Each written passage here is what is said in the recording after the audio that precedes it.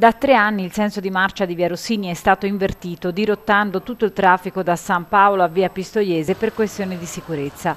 A giudicare dalle difficoltà incontrate dai mezzi pesanti nell'imboccare via Pistoiese, che documentiamo con questi video ripresi con il telefonino dai residenti, la soluzione non appare tanto più sicura. Recentemente un camion è rimasto incastrato provocando lunghe file, un'automobilista rimasta imbottigliata ha accusato un malore e per far arrivare l'ambulanza non è rimasto che prendere a martellate il parapedonale a cui il mezzo si era incastrato.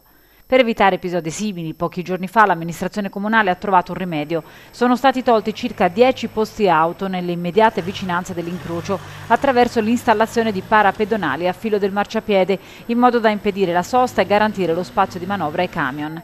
Secondo Roberto Kelly, che abita proprio davanti all'incrocio e secondo il comitato Macrolotto Zero, la toppa è peggio del buco, perché la svolta resta complicata e si tolgono parcheggi preziosi favorendo comunque la sosta selvaggia. Si, si leva la sicurezza sicurezza nella zona scuole e giardini di San Paolo e la si mette in via Pistoiese.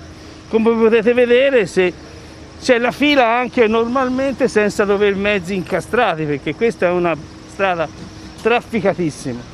Il presidente del comitato Macrolotto Zero, Bruno Gualtieri, sottolinea che questa scelta appesantisce ulteriormente un carico di traffico già eccessivo su via Pistoiese e che rappresenta l'anteprima di ciò che vedremo quando il comune realizzerà la zona 30 nel tratto che va dal Bar Scalino a Porta Pistoiese poco più avanti rispetto a questo incrocio. Il problema è che si perdono 40 posti auto e non è che facendo un parcheggio in via Nino Rota e un parcheggio alla piazza dell'immaginario si risolve il problema Qui ci sono anche persone anziane che non possono fare 300 metri da casa per andare a, a portare o a riprendere la macchina. Quindi questo sarà un inferno.